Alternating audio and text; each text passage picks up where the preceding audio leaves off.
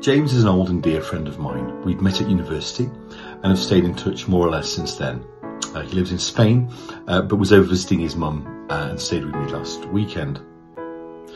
So, Gregor, uh, what is the purpose of life? I wasn't particularly prepared for the question. Uh, we'd gone out for a beer and the conversation had been wide ranging. James is an excellent conversationalist and someone who thinks deeply about what matters in life. Raised by a hippie mum, uh, he had inherited an apparently unshakable belief in the power of star signs to determine character. But that aside, he was a highly intelligent and deeply thoughtful individual who had um, uh, considerable insight. I valued his friendship and wisdom. I really wasn't sure what to say immediately. There are perhaps a range of off-the-peg Christian responses, uh, perfectly valid, but uh, they can sometimes sound trite uh, or incomprehensible to a person you're talking to. James would sniff out a pre-packaged answer immediately, and what I wanted to be, more than anything, uh, was sincere. Real to him in the moment, even if my response was a bit scrappy around the edges. Let me know what you think and I'll tell you if you're right, he joked.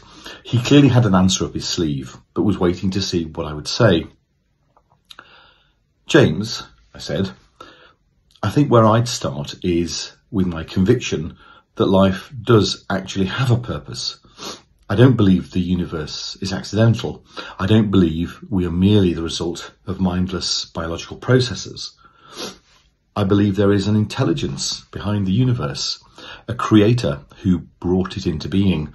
More than that, a creator who loves his creation, all of it, including you and me, uh, and who has a purpose for both of us. He, God, gives our life meaning. I could see he was glazing over slightly. Close, he said, uh, but I'll tell you the answer. Relationships. The purpose of life is to form healthy relationships. I thought about that a little.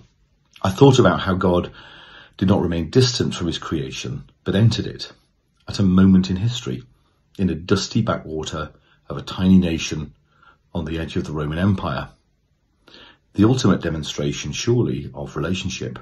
He, God, became like us in all our vulnerable, messy, painful humanity.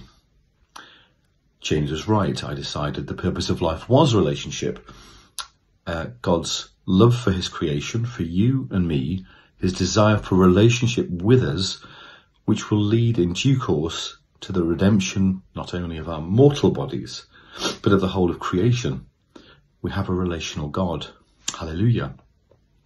But why do I believe these things? What do I believe?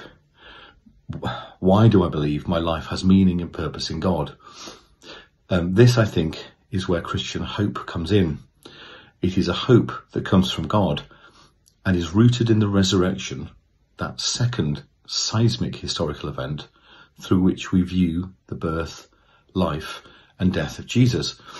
All praise to God the Father of our Lord Jesus Christ. It is by his great mercy that we have been born again, because God raised Jesus Christ from the dead.